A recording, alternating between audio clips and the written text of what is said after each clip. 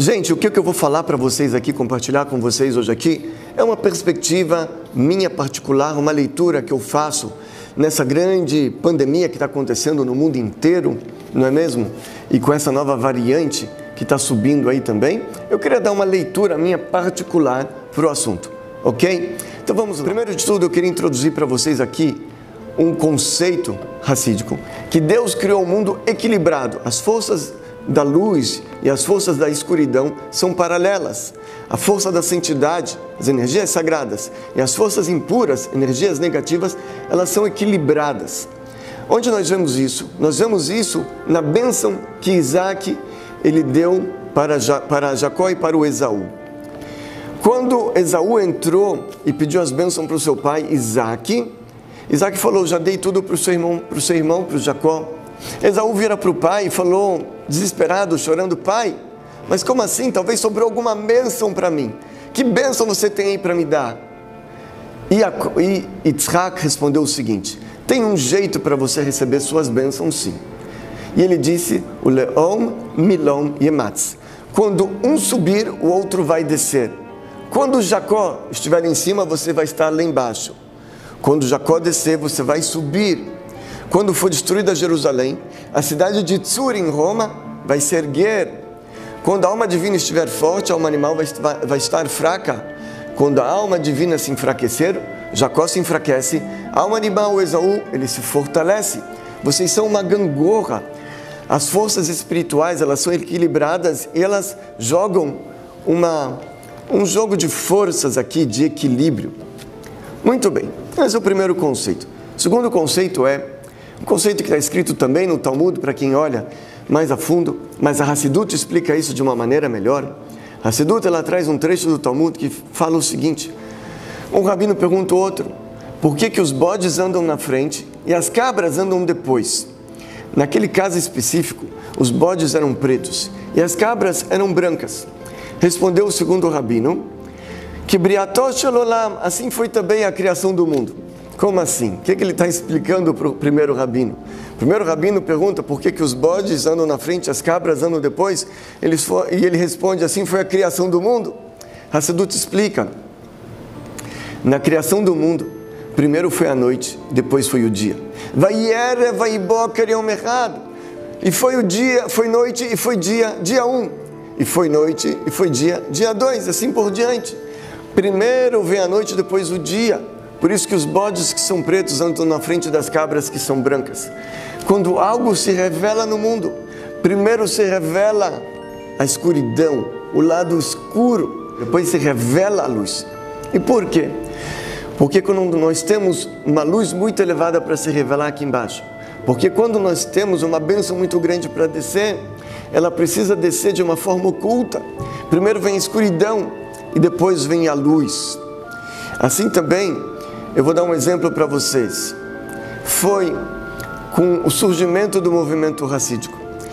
Antes do movimento racídico, que por, que por sua vez abriu as portas para a redenção, e eu já vou falar sobre isso para vocês surgiu uma época de escuridão muito grande no povo judeu.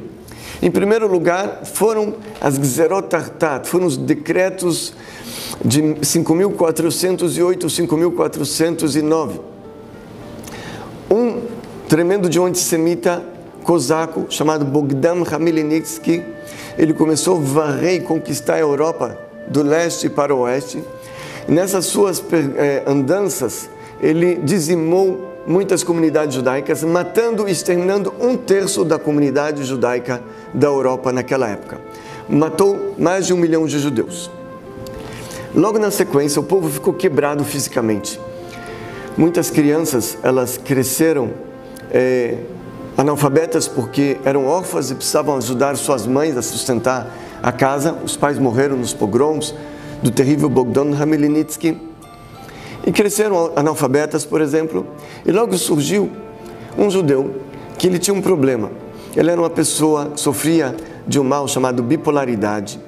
Era um pouquinho demais é, louco, mas ele tinha um poder de persuasão muito grande. E ele conseguiu persuadir boa parte do povo judeu que ele era o Mashiach. Pessoas venderam suas casas, seus terrenos por, por micharias, porque eles estavam convencidos que daqui a pouco iam viajar para Israel. E no final da, da tarde, no final do dia, esse homem, chamado Shabtai Tzvi Marshimon, acabou se convertendo ao islamismo para não ser morto pelo sultão.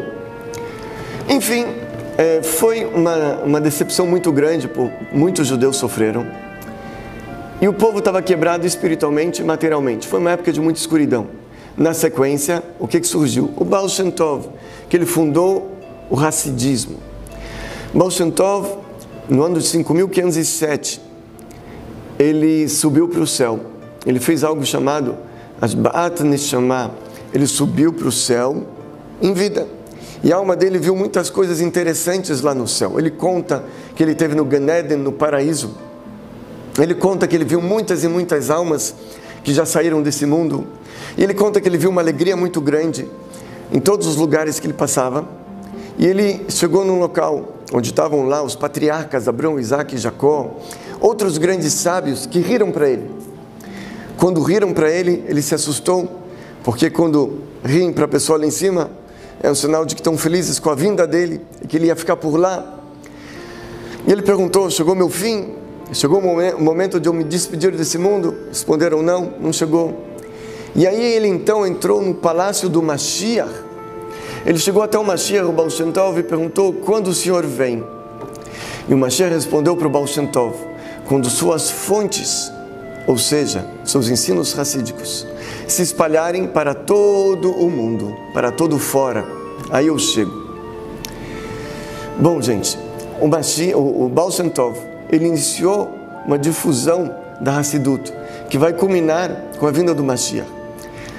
Já divulgamos para todo, todo fora, para o mundo inteiro a Hassidut. Ela está na internet, ela atinge todos os cantos mais distantes do planeta. Tov, Mashiach, já pode ficar contente que as fontes do Tov foram divulgadas, principalmente através da Hassidut Chabad, que é a continuidade da Hassidut Baal Shem Tov. Pois bem, a gente vê aqui que o surgimento de uma era muito ruim, muito negra, muito negativa, com o Shabtai Tzvi, que era um Mashiach falso, deu início a uma era, ao início de um processo que ainda era longo, mas iniciou um processo da revelação da grande luz verdadeira, da grande energia positiva do Mashiach. Agora, gente, nós estamos vivendo uma época muito, muito interessante. Primeiro de tudo, esse vírus novo que tem aí, o nome dele é coroa em espanhol. Coroa. Coroa está ligado com a coroa do Mashiach. Agora, essa nova variante, ela termina com a palavra cron, que vem do inglês, que vem do crown. Crown é uma coroa também. Está tudo ligado com a coroa, coroa do Mashiach. Coroa em hebraico é Keter. Keter coroa. Keter vale 620, que são as 613 mitzvot do povo judeu, mais as sete mitzvot dos filhos de Noé. Essa união dos povos, dos judeus com os filhos de Noé, vão trazer o Mashiach, com certeza. Um, de, um dos aspectos bem evidentes é que toda essa coroa negativa que está circulando por aí, um dos aspectos que ela traz é a separação das pessoas. Primeiro, a quarentena, as pessoas ficam isoladas dos seus amigos, das suas famílias. Não tem contato, isolamento, cada um por si. Dois, o fechamento das fronteiras, as limitações, as bordas, as separações. E quando o Mashiach chegar, vai acontecer justamente ao contrário. Vai acontecer a união de todos os povos, a abertura de todas as fronteiras. Está escrito que na era messiânica, Jerusalém vai se expandir por todas as terras, por todos os países. Israel vai se expandir por, pelo mundo inteiro. Vai se, vai, ser, vai, vai se acabar todas essas fronteiras que nos separam, gente. Como está escrito, vai ter uma união muito grande em todos os povos, como está escrito.